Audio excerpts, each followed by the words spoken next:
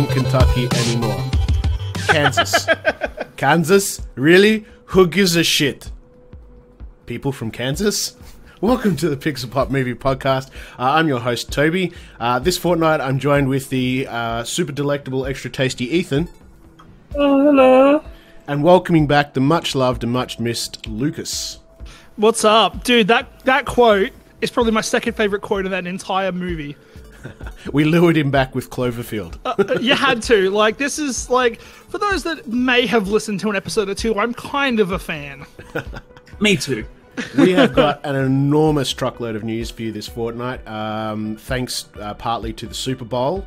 Uh, there was a lot of trailers dropped. There's just a lot of activity and news. So, uh, without further ado, let's just jump straight into it. Take us away, Ethan. Uh, first we got here is we finally got a trailer for Ant Man and the Wasp. Thanks Boy! to just, just before the Super Bowl we got it. Yep. It was. Boy, oh shit! That looks so good. I texted Ethan after the trailer came out, and I'm like, "Holy shit! Did you see the Ghost Rider cameo?" And he's like, "No," and he starts like going crazy through the trailer, and then Yeah. it was the photo. I just took a screenshot of Ghost on the bike. Right. uh, you know, because it's funny. It's a joke. Ethan and Toby have to laugh now because I'm Oh, funny. Yeah. Right. Okay. But yeah, man, I'm I'm really excited. They actually look like they're going to be putting Laurence Fishburne into a villain role, which I don't think he was. I thought- mem- nah, that's the vibe I got off the trailer. Like but to be, he was a, he was a villain of sorts in um, Predators as well. that's Yeah, not what that's I'm, true. That's not what I mean. What I mean is He the wasn't character. a particularly nice guy in John Wick either. Yeah, nah, not really. But what I what I mean is he's playing Bill Foster, or Bill Foster, or something. I can't He's remember. Giant Man. who's Giant Man, who's a good guy. So it looks like they're putting making Giant Man into a bad guy. Like that's just kind of the vibes I got off the trailer. And like I'm not sure if this is spoiler or not, but I've kind of got a feeling already that he's going to be the dad of Ghost. Like Probably, yeah. that feels like that's a f- fucking huge obvious thing that I kind of hope doesn't happen. He probably realized it was time to jump ship from DC and just come to Marvel. That's where it's at. Well, even when he was promoting Justice League, he said he was a Marvel fanboy. Yeah, So, so- I think that you know- too, they've got to be really careful with these these trailers uh, for this and Marvel because they happen after Infinity War. It would be so easy to spoil that movie with just the wrong clip. You know what I mean? Yeah, it's true. I think the advantage with those two movies, though, is that Ant Man and the Wasp don't really have anything to do with Avengers 3, and Captain Marvel is a 90s movie. Like, it's a Yeah, flashback, true. fill in the gaps movie, so they can kind of get away with it, I guess. Yeah, Uh, yeah, but they just got to be careful what they. yeah. You well, don't want to yeah, have have like um, Ant Man going, "Whew!" Just as well, we don't have all those Infinity Stones or something. You know what I mean? Like it would just you got to be you don't want to drop that in a trailer. and I'm, I'm sure also- Marvel I'm has also- it under control. I'm also gathering from the information that we have available that it's possible that Ant Man and the Wasp takes place before Infinity War. Like, I got a feeling it's it's kind of cut in between Civil War and It and could Infinity be War. really, yeah. Yeah, like that's just again that's just kind of a vibe I got off the trailer because it's like we're gonna have this fucking world-shattering event, you know, universe-shattering event in Infinity War, and they're like, nah, let's do another high stay. Like, you know, it just it seems really kind of out of the you know Perhaps, out of perha- well, perhaps they're in the Nano universe when uh, Infinity War's taking place, because you'd have no concept of time and, and all that while you're Well, in there. it could be, that's, yeah.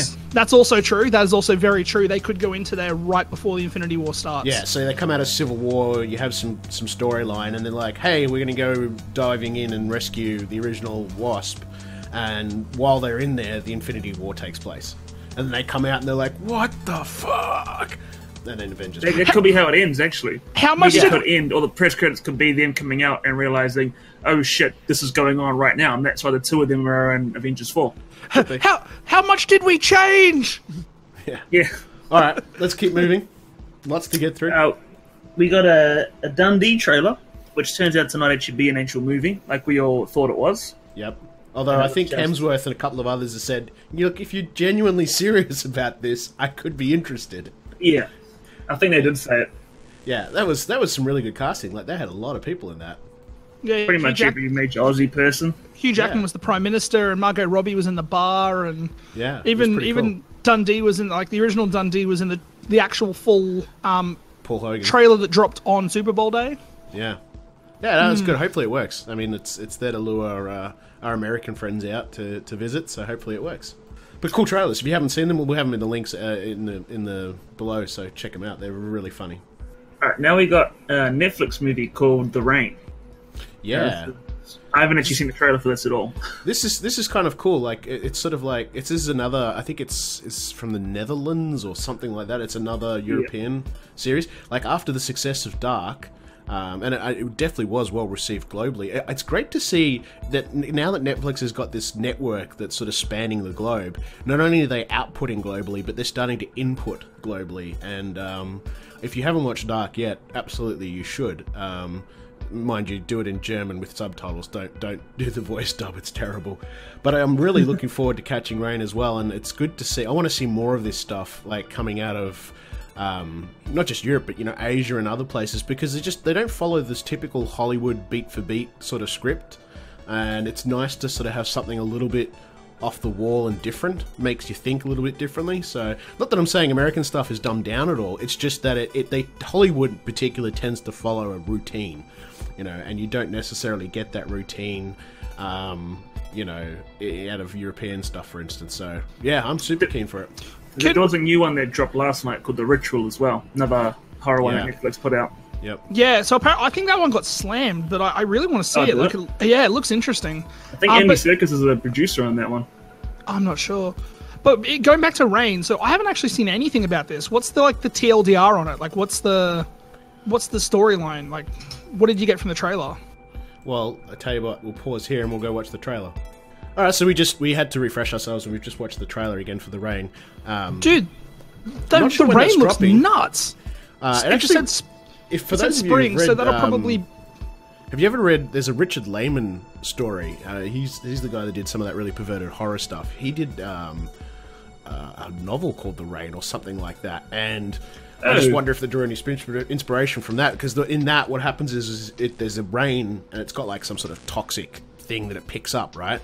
Uh, what happens is when it rains on you, it turns you into like this psychopathic killer, and so it, it drops on this country town and everyone just goes nuts.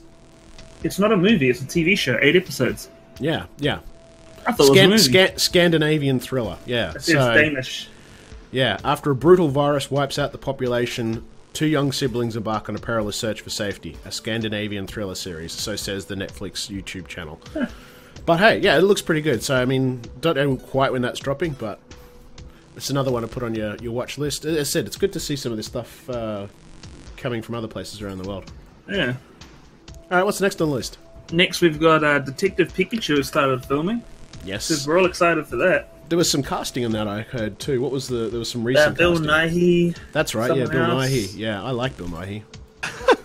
What? What? What?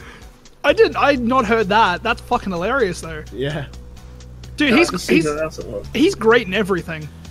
for the most So part. you yeah. got Ryan Reynolds as Pikachu, Justice Smith, Kathryn Newton, Bill Nighy, uh, Ken Watanabe, Suki Waterhouse. Yeah, Yeah. Okay. Cool. we finally got a trailer for Mute, which is dropping on the 23rd of this month. Yes, that looked good too. About so that's damn the time. sequel to Kind of sequel. yeah, side sidequel to Moon. Yeah, to Moon. Yeah, so he's a bartender. Yeah, it does look really good. Yeah, it does look good. Looking forward. Um, to it. Do, do, we know, do we know what date that's dropping? Yeah, 23rd of February. All right, cool. So we got Two weeks Two weeks. Two weeks. Nice. Excellent. Uh, next one we got here is that the X Men and, and Marvel Universe crossover may not happen for years. Yeah, Apparently, that doesn't surprise me, to be honest. Yeah, didn't Fee got quoted as like? Oh no, he didn't get directly quoted, but I think they said something about after Phase Four. yeah. Well, to be fair, I mean, I'm sure, I am absolutely 100% certain Marvel have everything meticulously planned for the next X years. Ba-dum. Oh yeah, they do. and uh, yeah, it just that that just wouldn't fit in. It would just it would take because the thing is they're not just planning a movie and scripting it; they're planning a whole series of movies and how they all tie together. Yeah. So it would just And it's still going to take a couple. Sorry, you carry on. no, you're right. I just think it would upset that whole plan. So it's a case of well, rather than trying to thread it into what we've got already, um, we'll bolt it on at the end. I would wouldn't be surprised if you get a small cameo or two, like because they don't really change the whole weave of the the story. But I don't think you're going to get some really a full solid movie until yeah later. Because it's going to That take a couple of years for them to actually like get the rights and do everything like, for the whole Yeah, deal to go through as well. Yeah, I feel like I was saying to Ethan, I think it was like last night or the night before. Wouldn't surprise me if at the end of like Avengers four we got a Fantastic Four tease, um, because they said Phase four is going to be set primarily within uh, the, like the cosmic section of the MCU. Yeah, which is a great time to put Fantastic Four in. Yeah, I mean their their whole origin is cosmic, so I mean- Yeah. having them at the forefront, but then also having you know the, the wind down from Guardians, getting into possibly maybe another Thor movie out out of space, um, having Captain Marvel, you know you've, we've got all these, you know even You doing like imagine a Guardians and, and Fantastic Four team up, and you've got Drax and the Thing. that would be amazing. That would be amazing. Like just would banging be away at each other. And then throw in Agent Venom in there as well when you, when you go to play the symbiotes, and you just got Ethan a happy man. Provided also that Drax survives Infinity War. Uh, Yeah, I, he's- I, I he's- would say this is the that thing. James Gunn wouldn't let the Guardians die outside of their own I, film. no, I, I think this. Yeah, I don't that is know. that. I also think this is part of the humor, though, is that Drax is so gung ho to get killed almost. I think the part of the joke is he's going to be one of the last ones standing. Like it's Oh, a sick, probably. it's a sick joke, but he's the first That one be- in, and I think he's Well, the like, one you- that you- will, you know, stick around the longest. You, you can imagine one of the other ones dying before him, and he's like, "How dare you die before me? I'm supposed Yeah, to die." yeah, here." exactly. He would Yeah, get he would- angry. He would get so mad that like his he wasn't able to have an honorable death to save his friend. Yeah. Yeah, yeah, exactly. So, uh, yeah, I I can see him sticking around for a while. All right. Next, we've got uh, Sony Entertainment now has a new uh, chairman, and apparently they're not too keen on keeping Sony Entertainment. They want Sony to be a pretty much purely tech company. So the rumor Yeah. going around is that Sony and all their movie and TV assets could be going up for sale at some point. Yeah. Now, there's before we jump the gun, I don't think there's any legal way in hell that Disney could buy it. No, it'll be to the- Not to the- no no chance in hell. No, because at the, the, that stage, the um, you know, the there's there's you know legal things get involved, and they would own too much of a monopoly, and etc. etc. Because what Um, that'd that'd leave Warner Brothers, which owns Paramount, Yeah. New Line. Um, Yeah, Universal, Yeah, I don't think there's anybody else big enough to. What or what might happen is the vultures will come in and pick at the bones. In which case, you Disney might be able to pick up, say, the Spider-Man. It's the Marvel stuff. Yeah. Yeah, and leave the rest. We'll just have to wait and see. But yeah, I, I don't think they would be able to buy legally buy the company outright. No, nah, wouldn't no no way at all. chance. So Uh, anyway, but interesting, and and Yeah. I know Sony's been in up and down for a little while now, and, and I was sort of following their news because of the PlayStation consoles and all that sort of stuff, and I know they were just sort of following the financial stuff there, and I know they've been on a bit bit of a rocky path for a little while now, so this is not too surprising. Uh, the other thing is, isn't it interesting to note how a lot of these big guys are getting out of the movie business, and I wonder if that's because of home streaming and you know their analysts looking into the future, going, you know what, in ten years' time, there's not going to be this, you know, this. There's not going to be cinemas aren't going to be the same, all this sort of stuff. Like, I wonder if It could be that. Yeah. I I mean, I, I haven't sat down and thought about it yet, and I certainly haven't. But I, I mean, there's obviously these companies have people that get paid a lot of money to predict the future, and I just wonder if it just seems odd that you've got Fox that went, nope, we're just unloading everything that isn't sport, and now you've got Sony looking to dump their movies. Why is everyone dumping movies? Well, you know, again, may, maybe maybe they've predicted, uh, you know, the, the fall of cinemas. Well, then maybe that's what Disney's doing. They think like, oh, it's all going to go to home streaming. Why don't we start up our own streaming service and buy out things? Yep.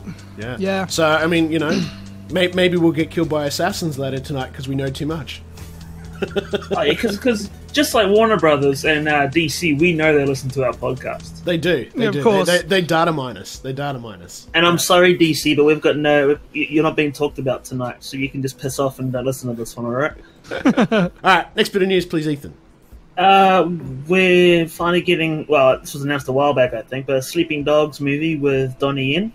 Is it confirmed pretty or is sure, it just uh, speculative at Yep. this stage? It's confirmed. I'm pretty sure Okay. Lucas is pretty excited I mean, about it. I'm always happy Yeah. for some Donnie Yen. I mean, I didn't play Sleeping Dogs, but you know that and Ip Man Four, please, it's on its way. Uh, Donnie Yen actually confirmed it on his own Instagram that it was happening. Yeah, this is Oh, excellent. yeah. Yeah. Anything that gets Donnie Yen doing martial arts again, I'm happy with. If Yeah, I'm love honest. his work. Love his work. Hell yeah. I think we got one here that I think Toby's happy about. But Amazon is working on the new Conan the Barbarian TV show. Yeah, this is interesting. I mean, after I mean, everybody knows that Game of Thrones is wrapping up next year, and, and so all these streaming services are frantically running around looking to snap up anything fantasy related to fill the gap.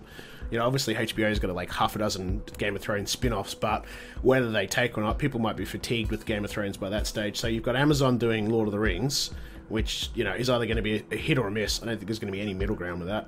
Um, and now you've got them looking to pick up uh, Conan the Barbarian. I mean, as a fan of the, the the original movies, as a fan of the comic books, as a fan of the original Howard stories, I'm keen. Uh, there was a German, I think. TV series years ago. It was terrible. I own it on DVD. I've never watched it. It's that bad. Um, so hopefully with a bigger budget. I mean, who do you cast? That is always the biggest thing with Conan. It's it's the casting because it's it's it's not like one of those roles that could be you know any gender and any ethnicity and any size like it's very very specific you know and people are looking for a very you, you know even when Momoa was cast a lot of people were like Ugh. I think the You know. perfect person to cast is no one to just let Conan die. Oh, look, he's a great. I mean, if you've read the books, it's a. I mean, they've been around for hundred years. It's a Yeah. great series of stories. Um, the trouble is, the movies that you've seen don't follow any of those stories. Uh, the the characters, even the Momoa recent movie, like it's got nothing to do with those stories. Oh, I've only seen the Momoa movie.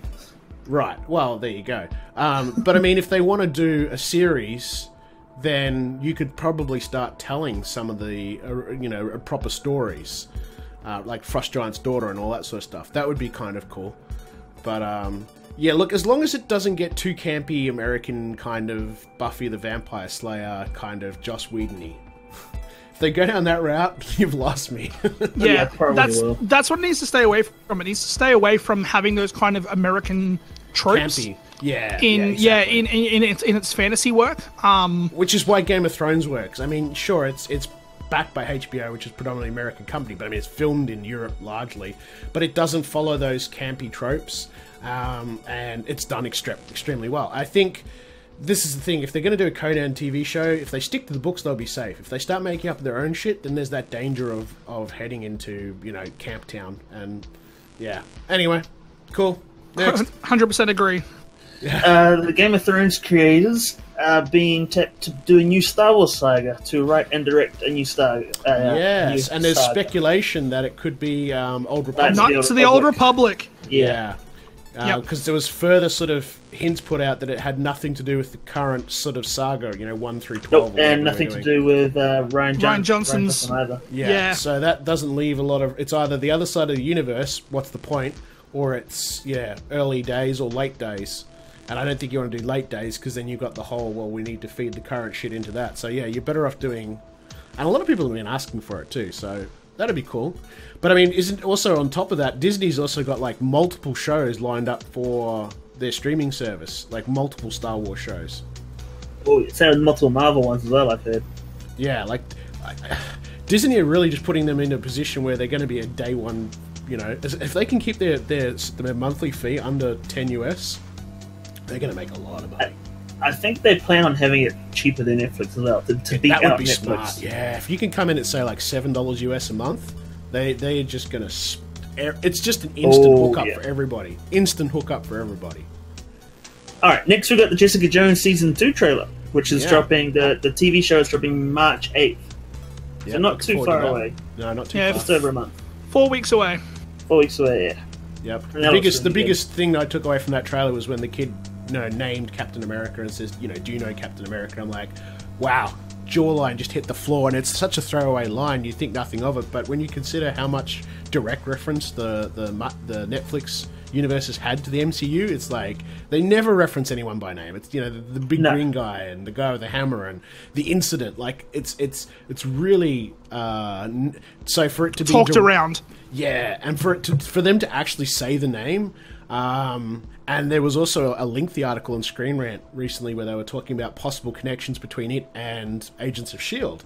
You know, shared storylines and shared characters and stuff like this. That would be really interesting if if if proven true. And this is the cool thing: we sort of get uh, Jessica Jones two, and if there is a bunch of MCU names and links, then my hypermeter for uh, Netflix characters appearing in Avengers 3 is going to go up. because Oh, if yeah. they're going to start directly referencing stuff and bringing stuff together and closing gaps and bridging shit, then then you know, considering that for the longest of time, there's no there was no Avengers Tower and and everything was sort of separate. For them to all of a sudden turn around and start doing this is is is is teasingly interesting. Well, Jessica Jones is the only one that's going to be out before Infinity War. Correct. Yes. All the others will be out. I think I'm pretty sure we're even getting Daredevil season three before we get Iron Fist season two, because that hasn't even started filming yet. But Daredevil has. Yeah, so I think we get all three. I think we get Jessica with- Jones, Luke Cage, and Daredevil this year.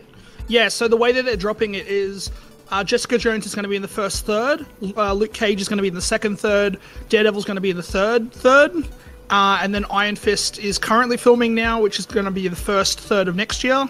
Uh, And then and Punisher then, 2 will be and, and then. Punisher 2 will be in the second third of next year. I'm pretty sure I And saw Misty in that trailer too. Did you? She she she seems to be throwing Jessica to the ground and covering her from an explosion or something.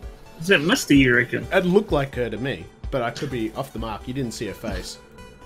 I'm not sure, but I know that Misty's going to be in Iron Fist. Yeah. And Iron Fist is going to be in Luke Cage. Yes. Yeah. yeah, it looks like they're going to do Heroes for Hire, which is Yes, awesome. Pretty much. Yeah. So yeah, it'll be interesting to see see um, who's who's going to be um, appearing in Jessica Jones too. Yeah, I think the the the, the link was um, the reference to the drugs that Jessica is given, um, IHF or whatever it is, um, and the fact The that same one for Coulson. Yes, the fact that she's just di- died and brought back, um, there was this theory that it was connect- same same mob that did Coulson. Yeah, The more that did Coulson was directly led by Nick Fury. That that's the thing. Yeah. I know, Yep. I know, but that's the thing. If if look, it, I mean, it was a lengthy article and it was speculative, but if that turns out to be true, if she's gone through the same um, agency that Coulson has gone through, if we're name dropping Captain America. If if if all that shit happens, as I said, my hypermeter for for um, you know bringing it all together because I mean Agents of Shield's been dropping mad mad Avengers like connections and links in the last season. This is what it is. So the name of the company that you know gave Jessica her powers was IGH. Yeah, which is Inhumans Growth, growth, growth hormone. hormone, hormone, yeah, whatever it is, yeah. hormone. And Because they refer because in Agents MCU they refer two- to them as some Inhumans and not whatever the mutants or whatever it is. It's like yeah, Yeah. So does that, does that mean they're going to make Jessica Jones into an Inhuman rather than? Well, apparently in Agents of Shield season two, they showed that it's possible to steal the powers of Inhumans through surgery. So they're thinking that that could be what happened with Jessica Jones. yeah. oh, that's kind of fucking lame.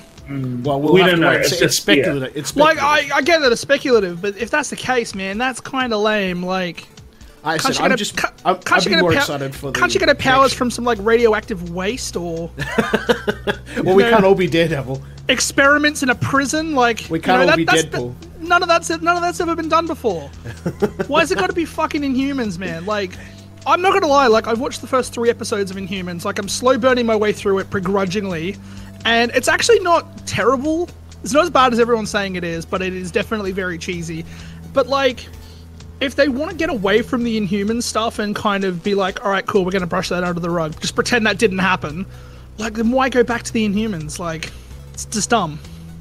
It's a well they don't. It's a well they don't need to go to. I mean, it's it, to me it wouldn't seem worth it because the Inhumans just bombed like shit. Yeah, and now they're going to be like going away from Inhumans altogether. Like Yeah. that's you know the, the they've tried the experiment. The experiment failed. Let's move on. Let's try something else. So going back and then having the Inhumans, the Inhuman growth hormone, be part of her. If this again, if this is the case, this is all speculative. But Yeah. if that's what they're going to do, then they're kind of tying the Inhumans into the Netflix universe, which then. You know, like No one's going to care about. no, yeah, no one's gonna give two shits about. You'll have to wait and see. You only got a month. You'll have to wait and see. Yeah, that's true. All right. Alright. Ne- next, we've got uh, an old friend of Charlie Sheen has accused him of murder. And nobody batted an eyelid ever. In that, we're not surprised. Yeah. But I mean, his old friend, if you look at the picture, his old friend looks like he's high on coke.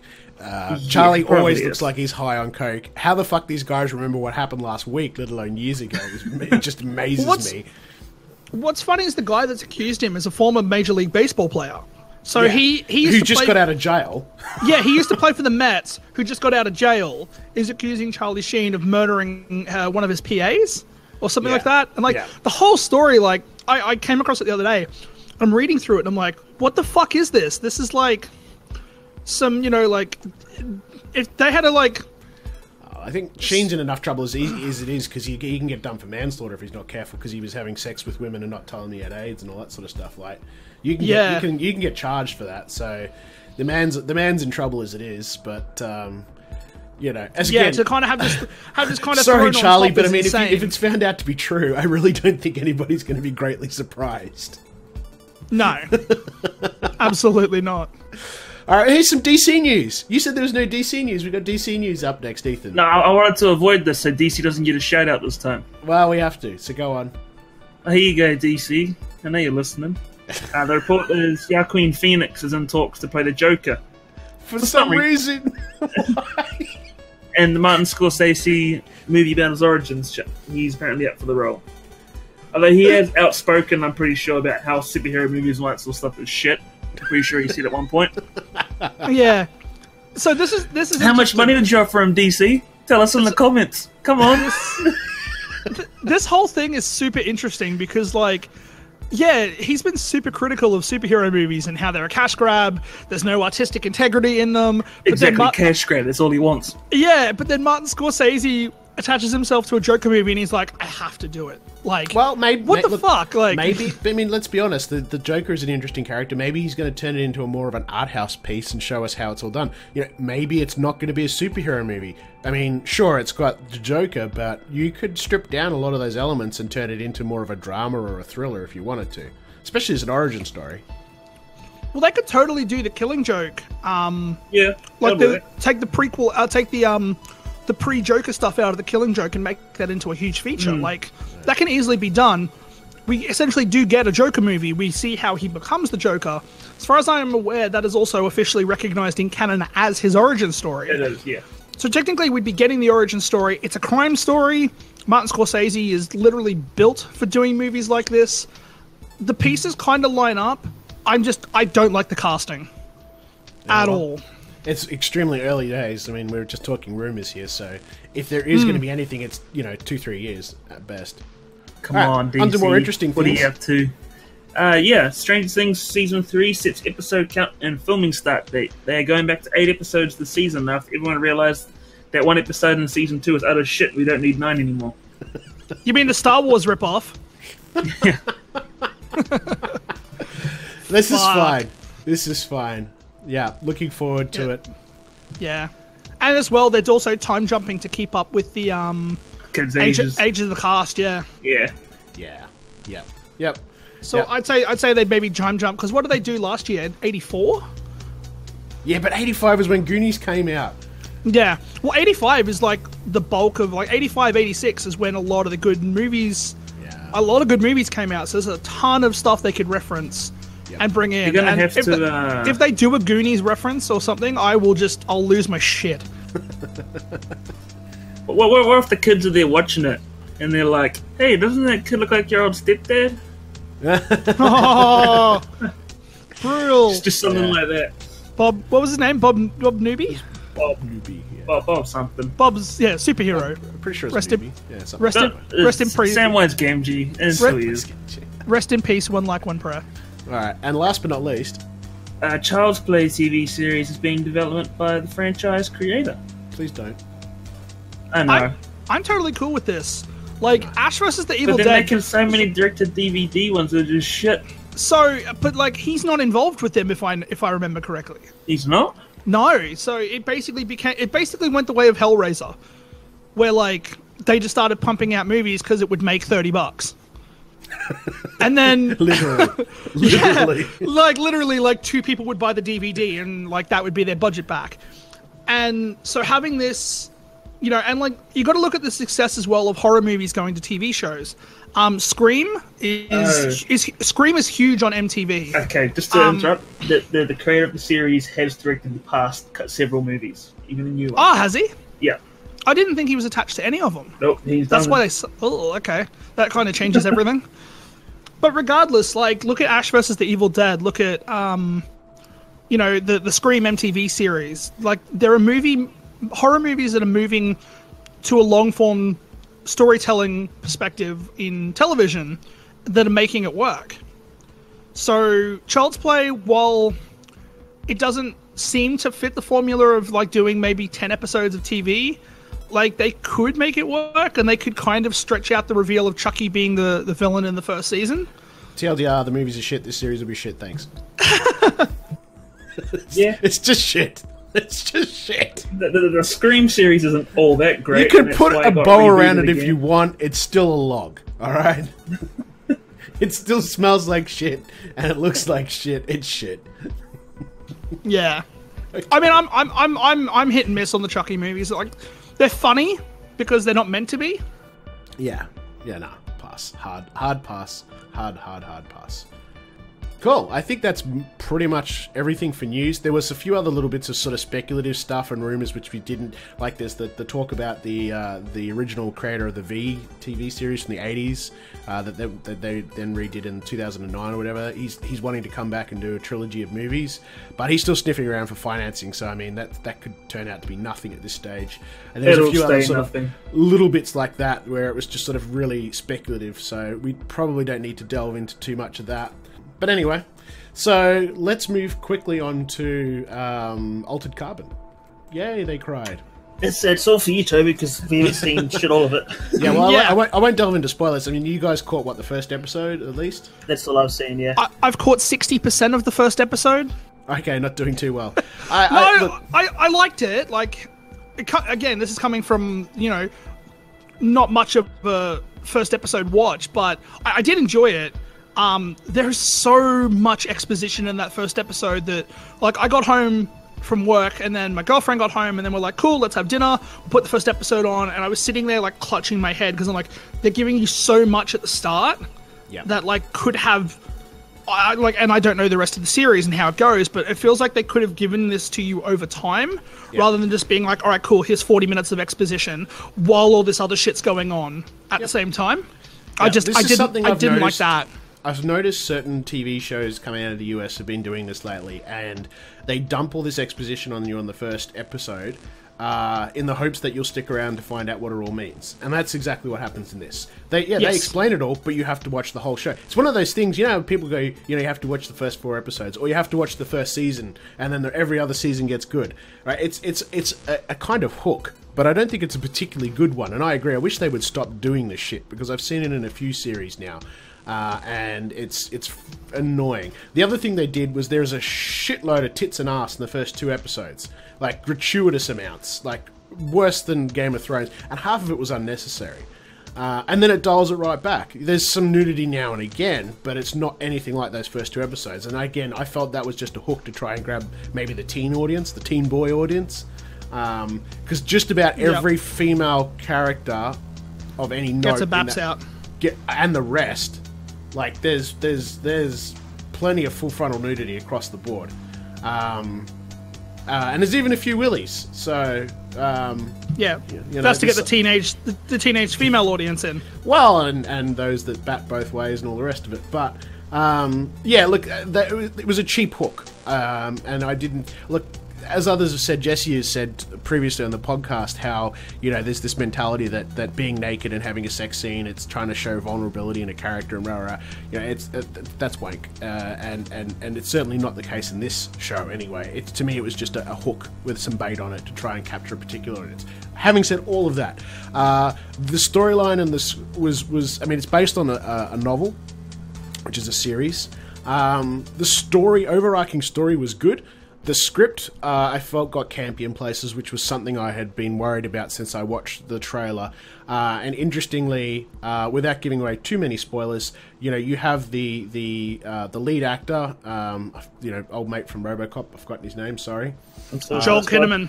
Yeah, thank you. Uh, he's playing this lead character, but of course that's not his original body. He has uh, he's originally sort of Japanese born, and he has a, a sleeve, as they're called in these these bodies. Uh, and there's a, a Oriental gentleman actor who plays his original body. And ironically, I felt the acting from uh, again. You have to look it up for me. I missed his name, but the, the the Oriental actor, his performance I felt was better uh, largely. And if we do go into a season two, I'd probably rather have him as the lead. Um, not that uh, old mate did a bad Kinnaman. job, did a bad job, but it just it was it was. This is someone who's meant to be the same person in two different bodies, but there's They feel like two completely different people. I totally got that from the start. yeah, they just didn't match up well. Whereas others kind of did a bit better. Um, it just the thing is, what gets what the problem is, it wouldn't just be. There's so much they needed to sync, but it probably would have cost too much money. I don't know because there's things like the way you walk. Sure, you've got a different body, different muscles, but there's certain things that would even if you'd had a limp previously, that psychologically that that would have stayed with him. The way he talks, habits, ticks.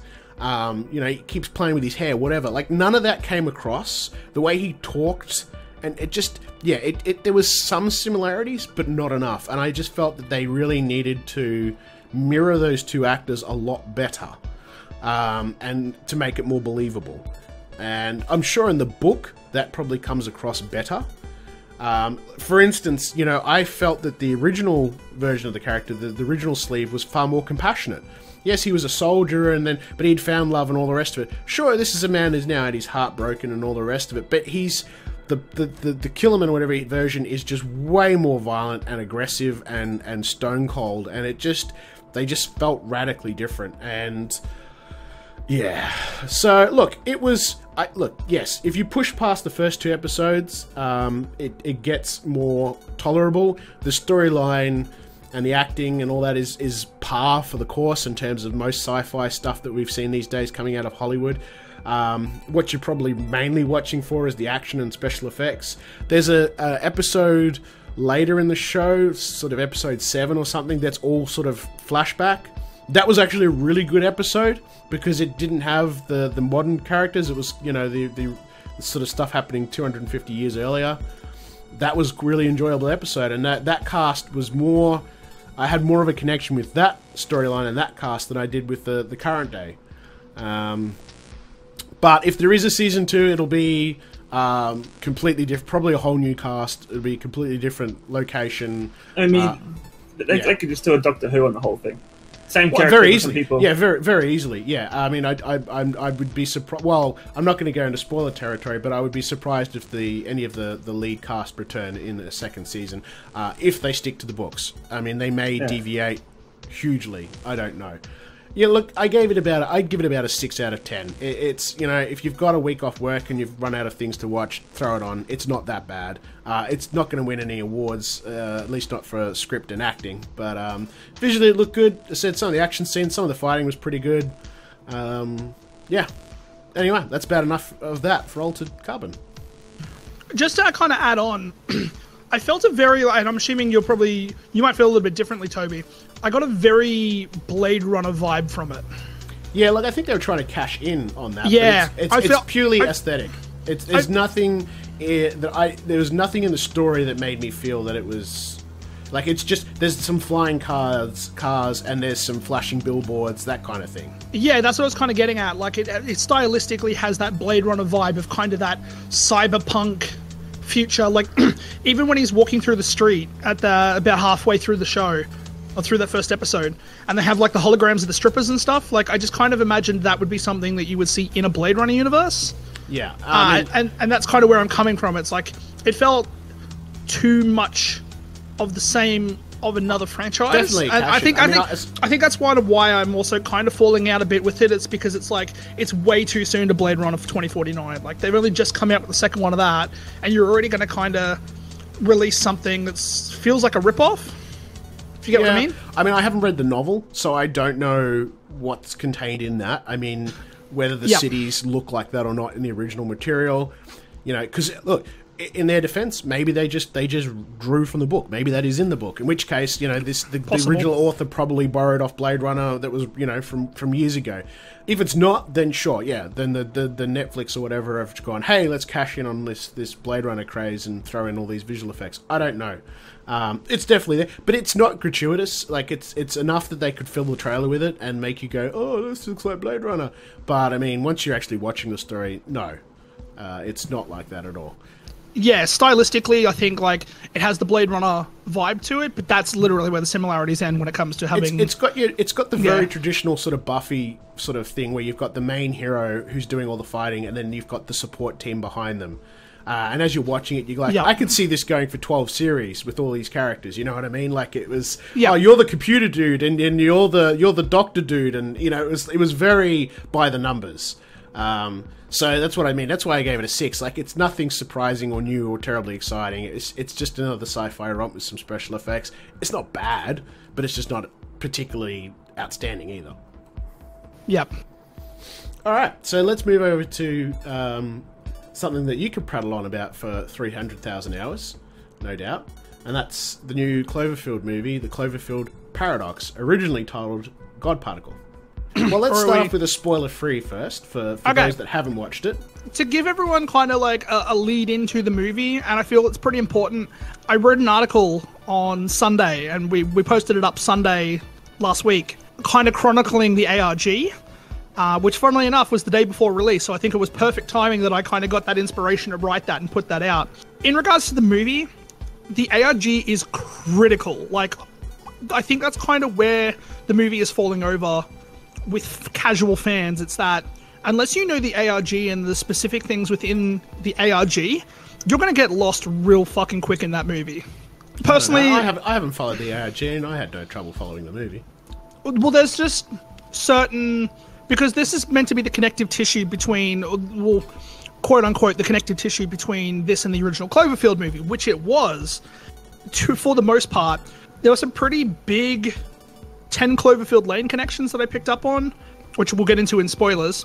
But yeah, like I just I feel that the majority of people who haven't followed the ARG have kind of follow, kind of followed the original movies. A lot of people didn't like it, and I can see why. Yeah, But but, I most people won't have followed the ARG, to be honest. Yeah, but like in saying that, you know, I followed the ARG for ten years. You know, I've loved, I love these movies. I think Cloverfield is an excellent film. Ten Cloverfield Lane is better. I wouldn't put this in the tier of those two movies, but by no stretch of the imagination, within this universe, was it a bad movie? If anything, it served as a Deus Ex Machina essentially to create a whole universe, and I feel that's exactly what it needed to do. And moving forward, like this is going to be this is the launching point for those movies. Well, it's gonna yeah. It, it it explains why, essentially. It explains why Cloverfield happens. It explains why Ten Cloverfield Lane happens. It's going to explain why the new film set in World War II happens, and it's going to explain all the, all the rest of it. Um, Yep. my problem with the film it's not a problem so much was was was i had two points one uh that first i liked i loved and i laughed my ass off at the humor from chris o'dowd as mundy however i felt it had no place in the movie it just it took the you'd have these tense moments where you're on the edge of your seat and you're like holy shit what the hell's going on and then you're like ha ha ha it just it just broke the immersion for me as I said, the humor was great. I just don't feel it belonged in this film. the humor was there to be there and nothing more. Like it didn't drive anything. Well, I feel I probably I'm thinking Chris O'Dowd probably pushed for it in some regards. Uh no, no, the original script. See, I've read the original script. Mundy was a very funny character. Yeah, He was the he was the comedic relief.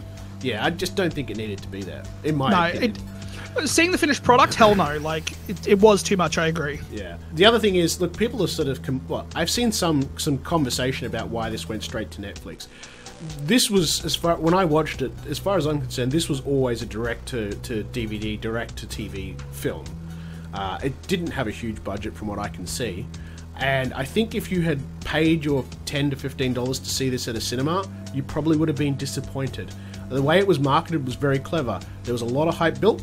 Then everyone just immediately rushed off and watched it on Netflix. So the viewer ratings for this thing went up and up and up.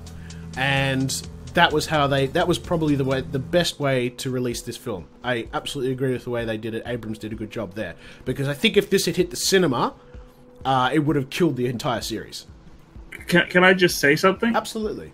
Four days before this movie came out, I said to Lucas, I'm like, wouldn't it be awesome if they aired a trailer during the Super Bowl and it says available on Netflix after the Super Bowl? He totally fucking did. Four days before Like- the movie came out. Four days Before- before the thing came out, I said that to Lucas. Yeah, and then as well, like when the um, so that morning was that morning or the night before? It's the, Um, there the was morning. All, well, all the articles saying uh, heavy rumors Cloverfield to release after Super Bowl, and I'm like, get fucked. Like, this would be this would be this would be cool, but like the odds on that happening, I think, are very slim. And then the more I thought about it, the more I was like, well, Cloverfield didn't release with uh, you know any of its marketing with the trailer until like the last trailer a month before the movie came out.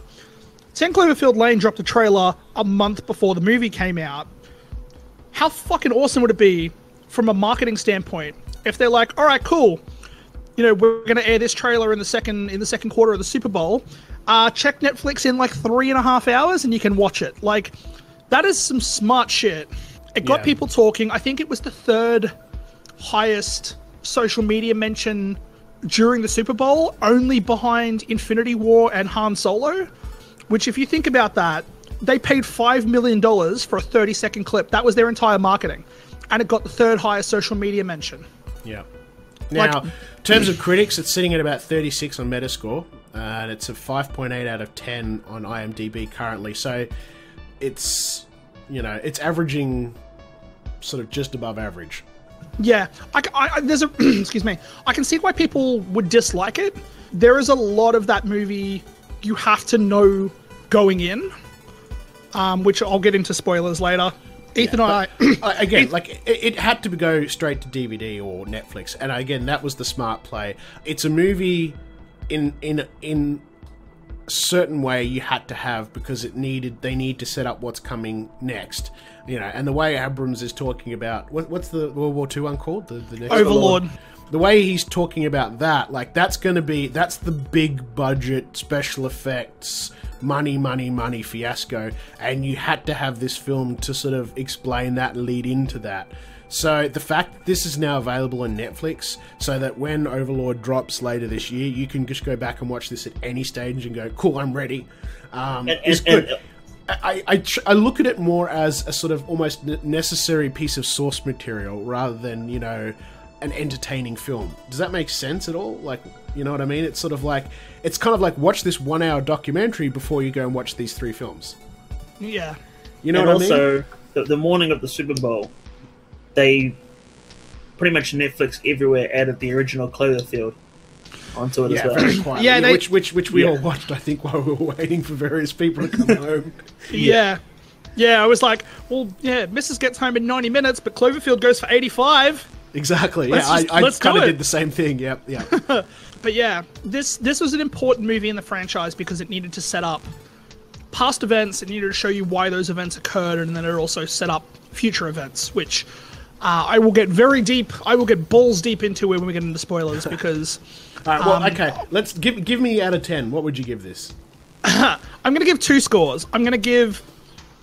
If, if I was not a Cloverfield fan, as as hardcore as I am, I'd probably give it a five. But because of how much I've followed everything leading into this movie, I'd give it an eight and a half, purely for the payoff of the ARG. Okay. I'll give it about an eight, eight, eight and a half. Yeah. All right. Well, that's good because I'm I'm the outside dog here. I'm not the big uh, Cloverfield fan. So yeah, I I agree with Lucas. I'd probably give it a five or a six. Probably probably probably five out of ten to be honest. It's like Uh, reverse Blade Runner for Toby. This is this is like this this is our Blade Runner, Lucas. Yeah, it is. It is. Yeah. And that's, and that's cool. Yeah. And that's cool. Horses for courses, right? Um, but yeah, like it wasn't. It wasn't a particularly bad film. Will I go back and watch it again? Probably not. Maybe before I go and watch the next film, which I'm more keen for for Overlord, to be honest. I, I didn't think it was a. I can understand, and the thing is, if you if you you could see what God Particle was going to be before the Cloverfield influence. Uh, Yes. And without the Cloverfield Yes. influence, this was going to be a really fucking boring movie. I totally agree. I do feel that due to the largely negative reception of Cloverfield Paradox, that that may impact Overlord when that finally gets changed to a Cloverfield title. I don't think it will. You I, don't I, think it will? Nah, I don't think it will. Everyone who like Dude, everyone it's Nazis and monsters. It's going to fucking make a trillion.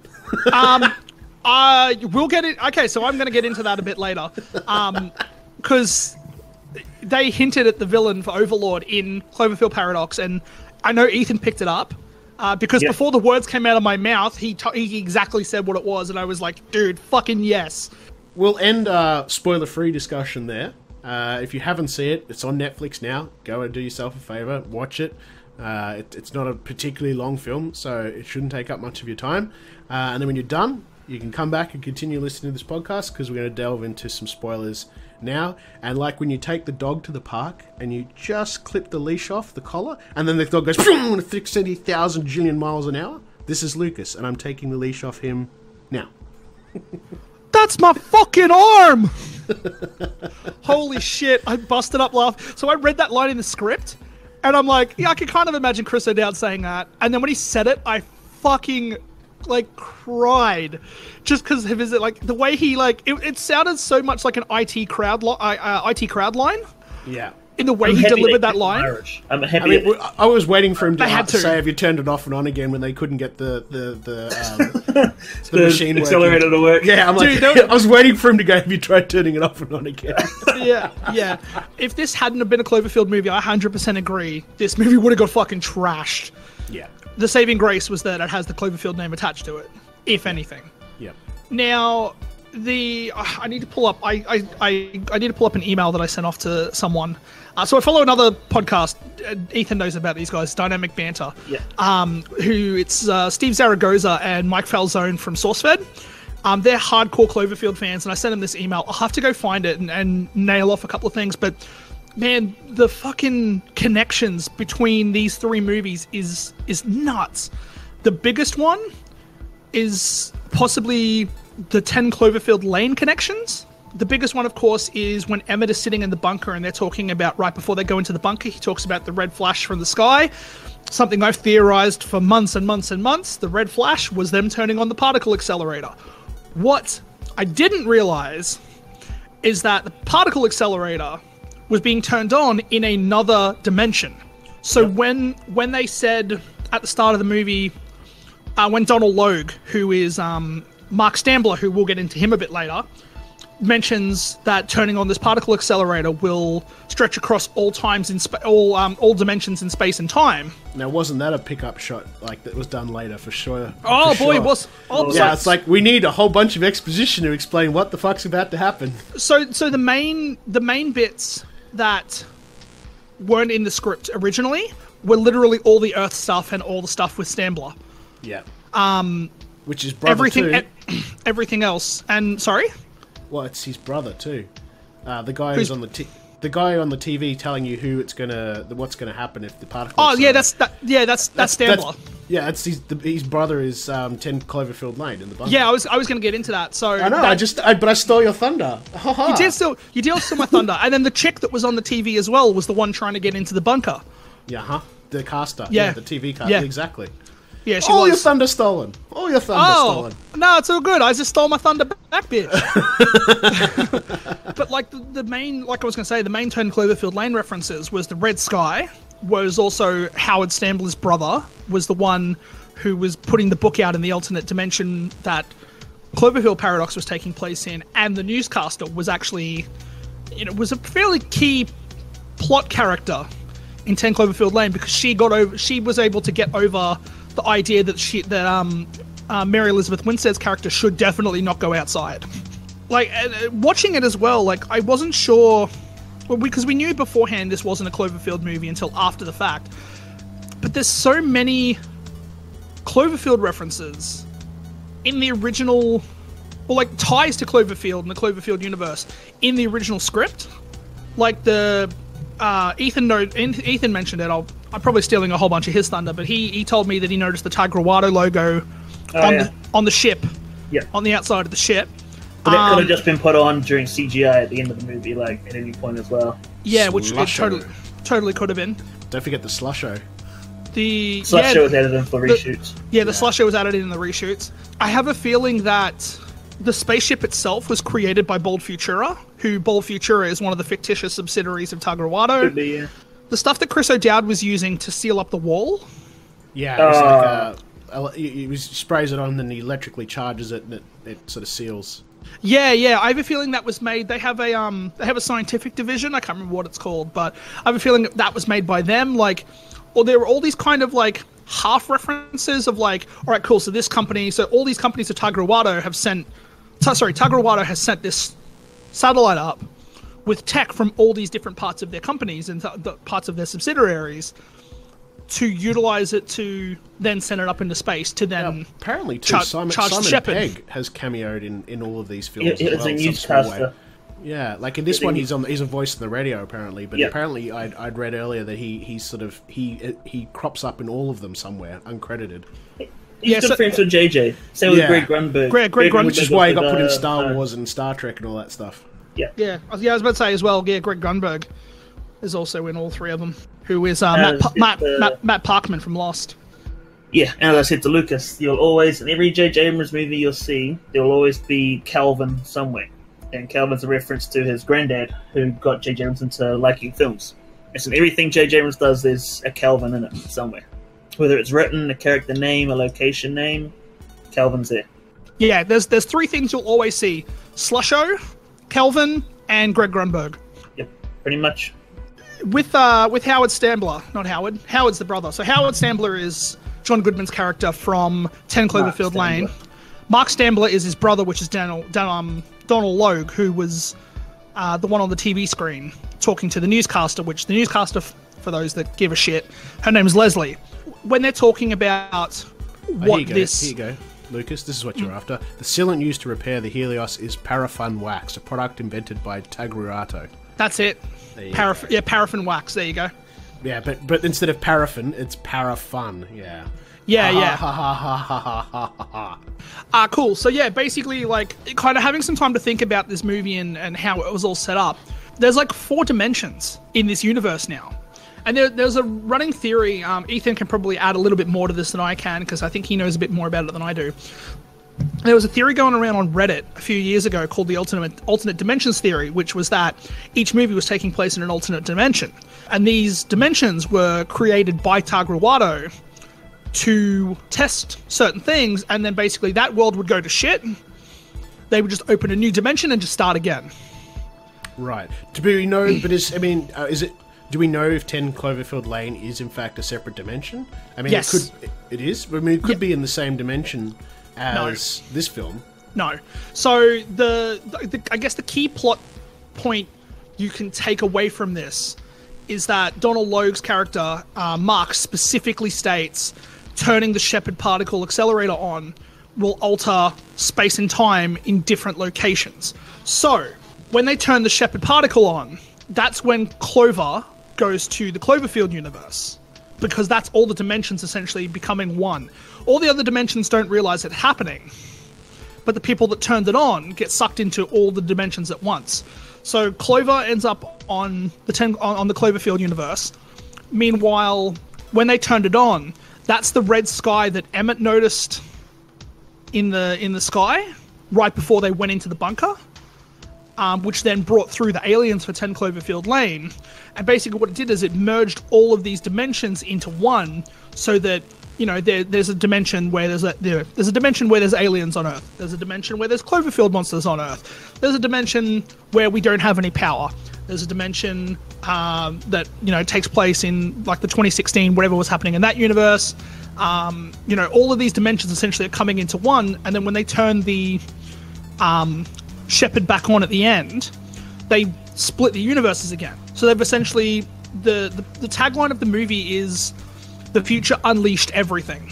So this movie I think takes place in around 2020. 2028, Uh, I think. Nah, 2020 because they launched the satellite in 2018 and they've been in space for 2 years. That's how I took it. All right. The so w- the future basically they've gone, they've activated that Uh-huh. and, And, and this have movie takes place in 2028. Prior films took place. Blah blah blah. blah. Fuck you. It's 2028. I was right. You dick. Where does it say that? It's just IMDb, which is never wrong. Oh, okay. Anyway. um, so basically, like, the, the future has fucked every dimension at once with that particle accelerator. And that's what I kind of mean where this movie is the Deus Ex Machina of the universe. This is the, this is the starting point for all the other stories. Yeah, yeah. Now, that's interesting because the events took place, the events in the original Cloverfield movie take place in 28, uh, 2008.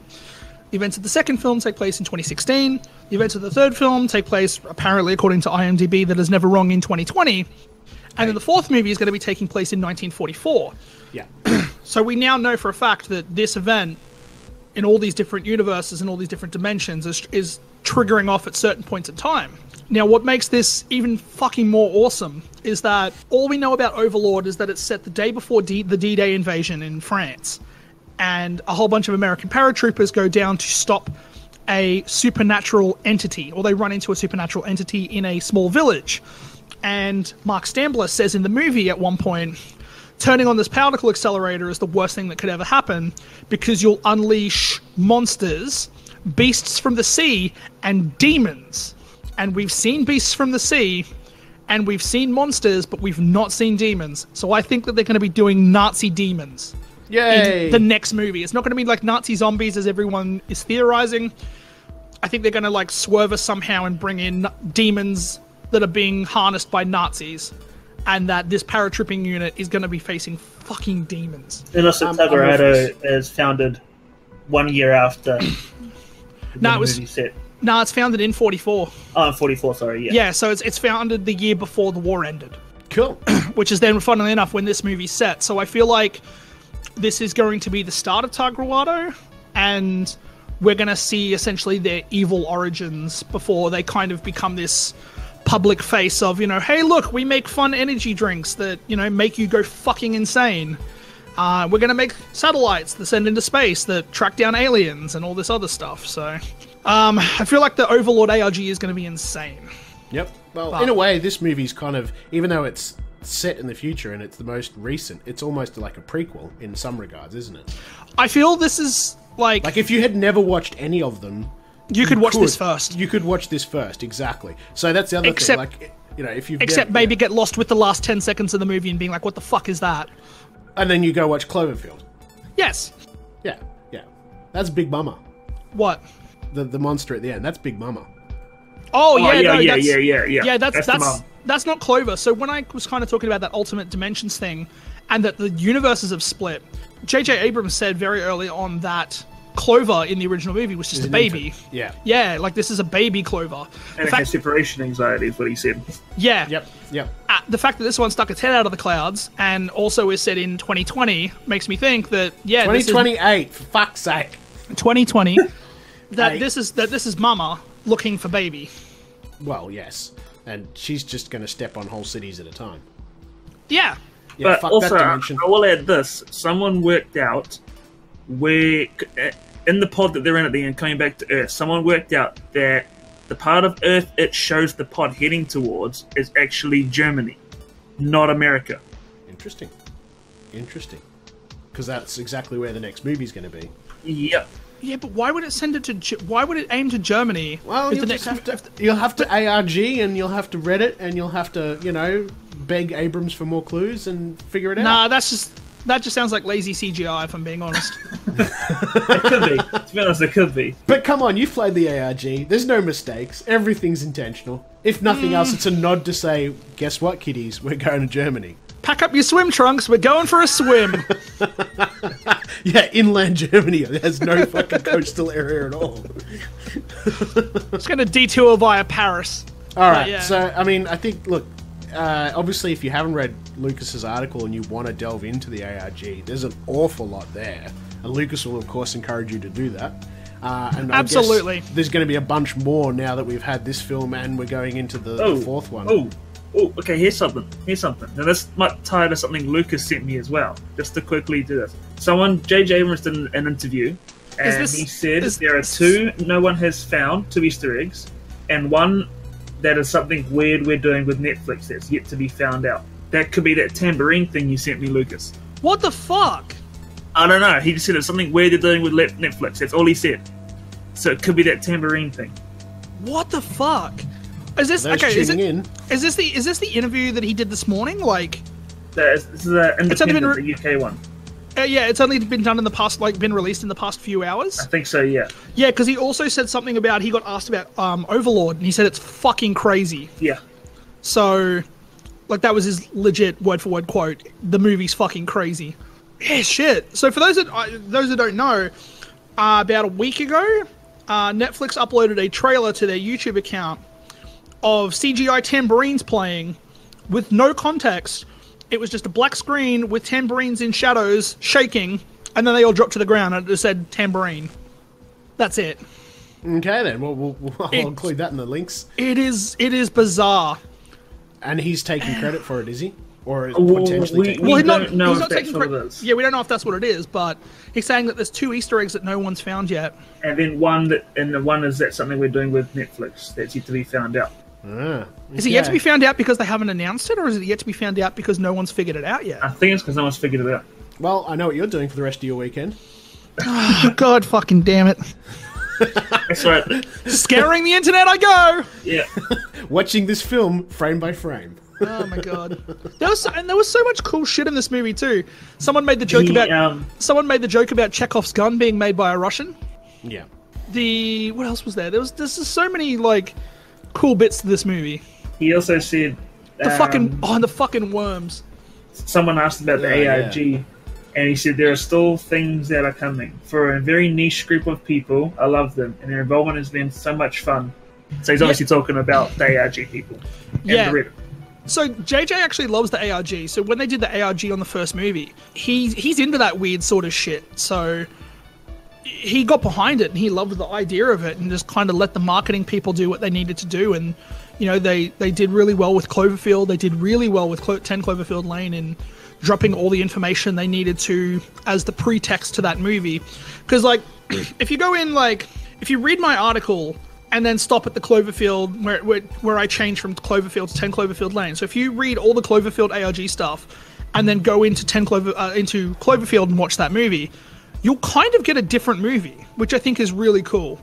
Uh, and then the same thing again with 10 Cloverfield Lane with all the Stambler, you know, the fact that he's trying to save his daughter and like obviously we for those that have seen 10 Cloverfield Lane, we know uh, 10 Cloverfield Lane, we know what happened to Megan, but we don't know why he can't get in touch with her. Uh, and that was a big driving force of the 10 Cloverfield Lane thing. They also did the um, the the GPS drop with the uh, USB sticks, which you know that was fucking awesome. You know, if they're if they're only going to get crazier with the ARG, like I'm all for it. Like I'm sitting there, you know, clasping my hands, waiting for something to come up. Cool. All right. Well, I think that's pretty much everything we've got for for. We could go on for more hours, I'm sure, but that I could probably s- wraps everything up for Cloverfield Paradox. I could talk Cloverfield for days. You could. But um, that's a pretty chunky episode. I, I think we covered a lot, which is really good. I'm, I'm pleased with that. We need. We didn't even up- get into the Deadpool stuff. No, we didn't. Did we? Ah, Oh, man. well. Next time. Next time. We'll have to do that again, just because this episode was so beastly. We're gonna have to do it next time. But yeah, man, some really cool stuff. All right. Well, we need to sing our way out. We did Boombox last last fortnight. I was thinking maybe operatic. No. You lead the way.